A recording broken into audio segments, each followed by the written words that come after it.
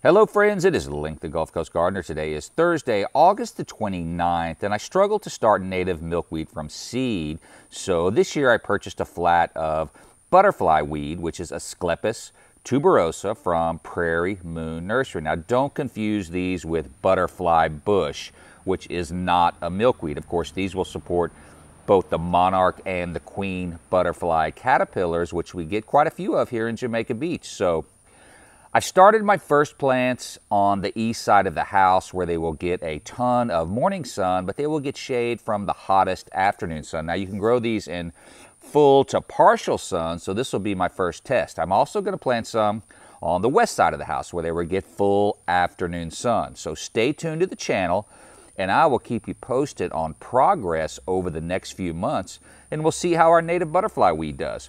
Thanks for watching. Have a fantastic day.